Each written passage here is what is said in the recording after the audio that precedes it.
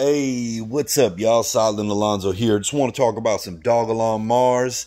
And the first thing that I have, because I have forgotten to mention this on the past couple videos, but there is an active proposal on the Dogelon DAO to fund a Twitter bot that actually notifies us of big transactions on uh, Elon and anything Dogelon Martians NFT related. So if you want to go ahead and vote on this DAO, I'm going to place the link in the description so you could go check that out. It's going to have all the details there. So um, make sure to check that out because you can make your voice stand out and be heard in this matter. So the more votes we get, the better off it is, right?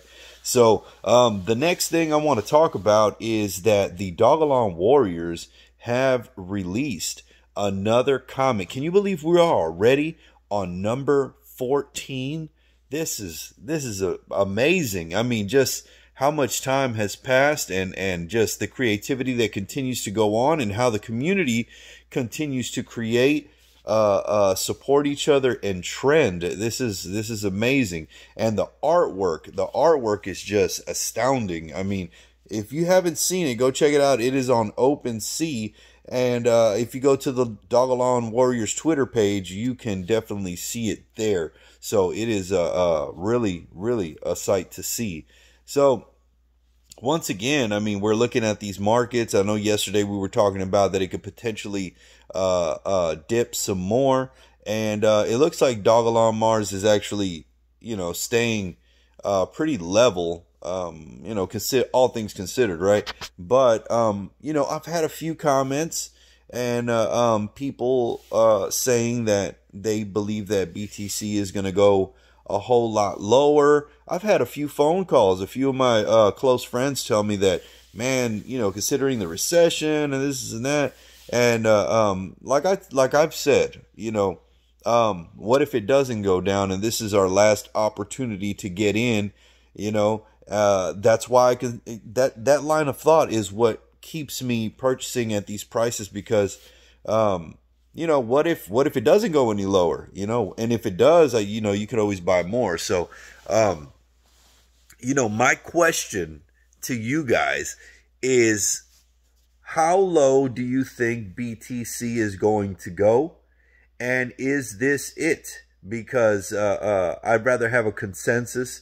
All of us look at different charts. All of us, you know, have different different opinions, and we form them in, in different ways. So, if you'd be so kind to comment and tell me what level you think BTC is going to go, um, you know, I'd really appreciate that because regardless, hey, in the future, I don't know how close it's going to be, how near it is, or how far it is, but I know things will go up. So I feel confident in making my purchases uh, with no problem. But I do want to be prepared. I do want to have a Hail Mary order that does reach low enough uh, to capture uh, the best prices that I can possibly get. So, um, you know, with that said, you know, there's still there's still momentum in the background. Like we said, uh, the uh, Coinbase has added us to uh, Coinbase custody, which is an excellent thing.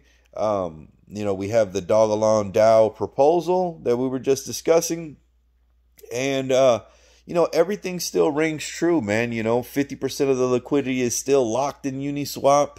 You know, um, the uh, uh, International Space Station did tweet us out and thank us by name, Dogelon Mars.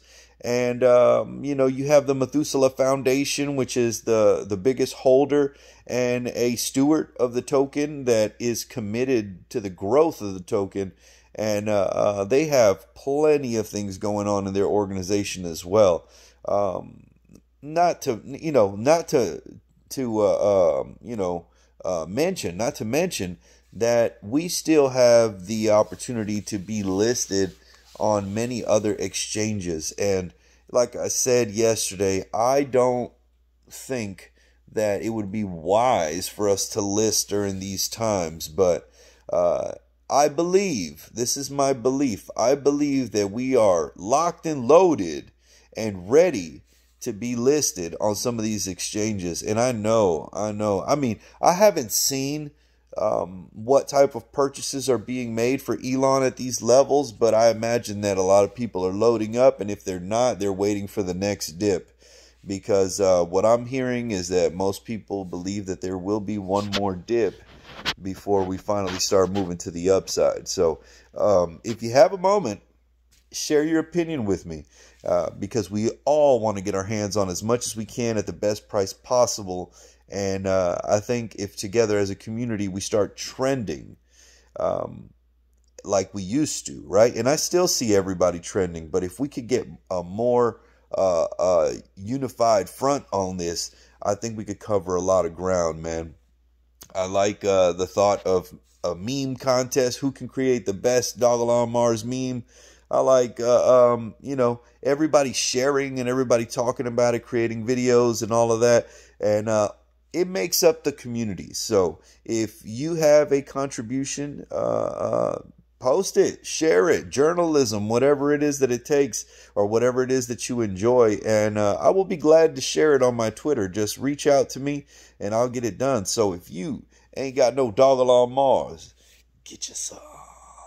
And if you've seen the official Get You Some merch, go to gmwys.com